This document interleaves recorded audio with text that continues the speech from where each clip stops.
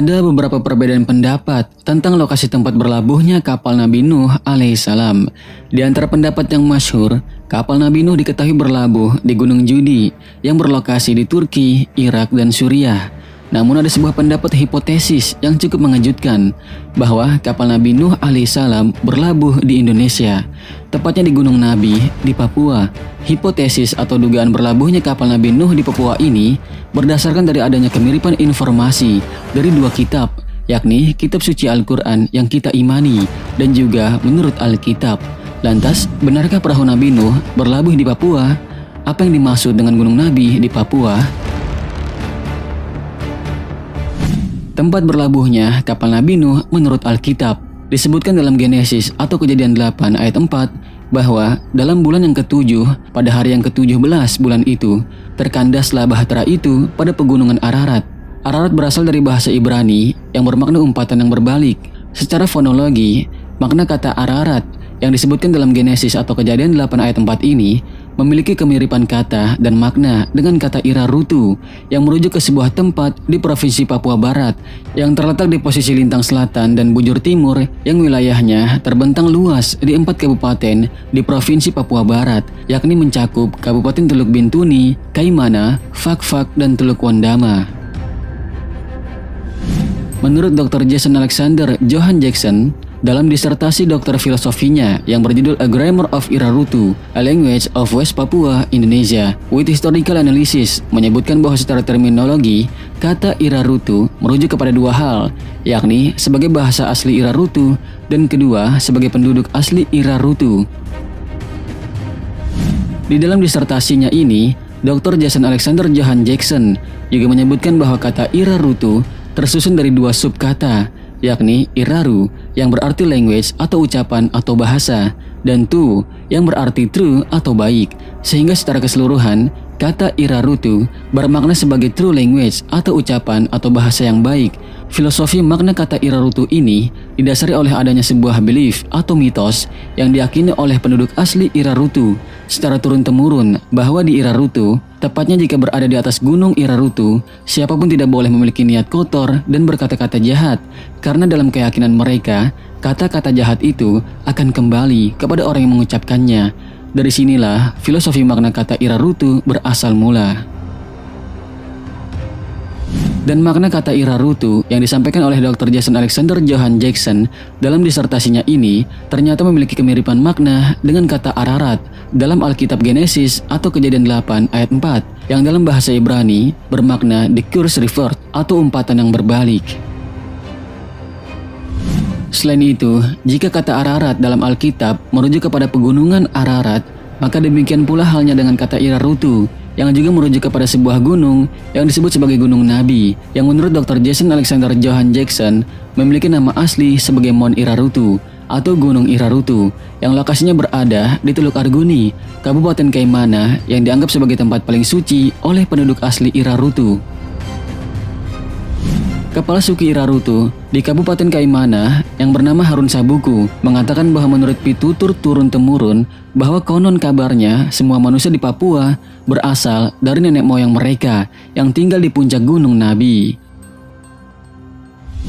Menurut hikayat Gunung Nabi, seluruh dunia tenggelam oleh banjir dan orang-orang terpilih yang berada dalam kapal Nabi Nuh telah terdampar di Gunung Nabi. Masih menurut hikayat yang sama, disebutkan bahwa pasca banjir surut, Nabi Nuh alaihissalam dan ketiga anaknya yang bernama Irarutu, Mairasi, dan Kuri beserta 48 orang penumpang lainnya yang berada di dalam bahtera tersebut turun dari Gunung Nabi dan menyebar ke seluruh dunia. Irarutu menuruni Gunung Nabi melalui rute Sungai Narmasa terus ke Tugarni menuju Teluk Arguni dan Mairasi menuruni Gunung Nabi melalui rute Sungai Urere terus ke Lobo dan terus menuju Teluk Triton. Sedangkan Kuri menuruni Gunung Nabi melalui rute Sungai Wasimi, tembus hingga ke Teluk Bintuni dan Teluk Wandama.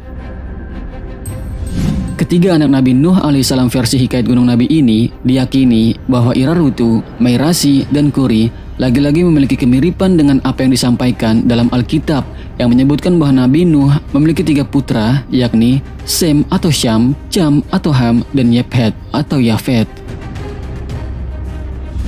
Tempat berlabuhnya kapal Nabi Nuh menurut Al-Quran. Sebagai muslim, tentunya hipotesis ilmuwan yang merujuk kepada Alkitab tidak boleh kita imani, namun cukup dijadikan pengetahuan saja. Akan tetapi kitab suci kita, yakni Al-Quran, telah memberi petunjuk tentang berlabuhnya kapal Nabi Nuh.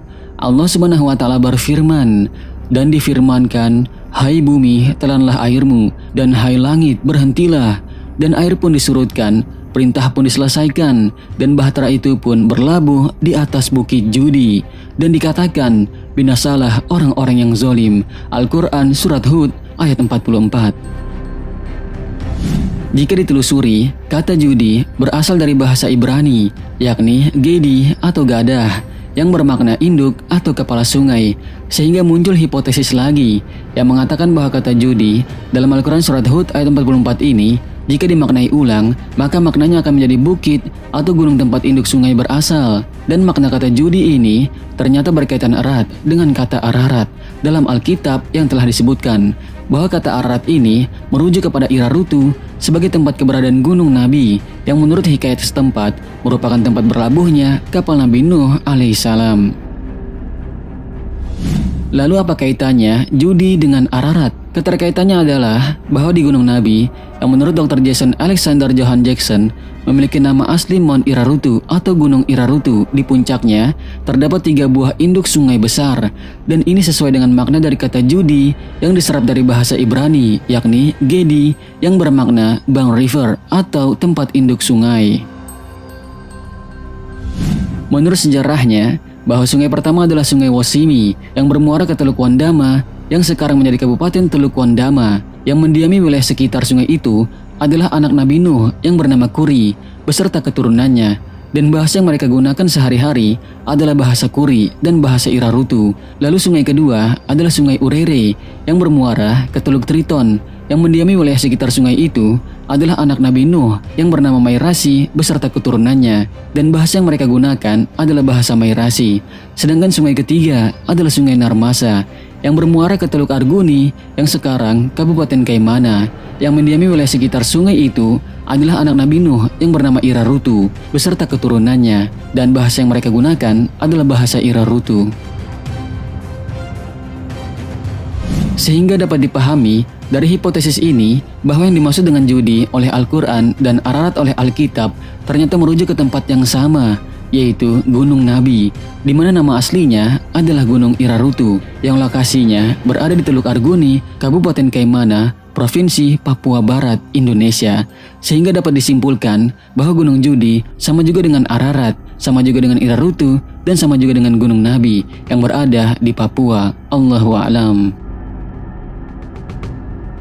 Sahabat Aswaja, pembahasan ini hanyalah sebuah hipotesis dari sebagian kecil ilmuwan saja karena ini hipotesis, maka itu berarti hanya sebuah anggapan dasar atau dugaan saja, yang itu bisa jadi benar atau bisa jadi juga salah, bahkan masih harus dibuktikan lagi kebenarannya dengan jelas. Maka dari itu, pembahasan ini cukup dijadikan pengetahuan dan diambil hikmahnya saja. Sedangkan untuk kebenarannya, maka kita pasrahkan kepada Allah Subhanahu wa taala yang Maha mengetahui segala sesuatunya. Wallahu a'lamu bissawab. Wassalamualaikum warahmatullahi wabarakatuh.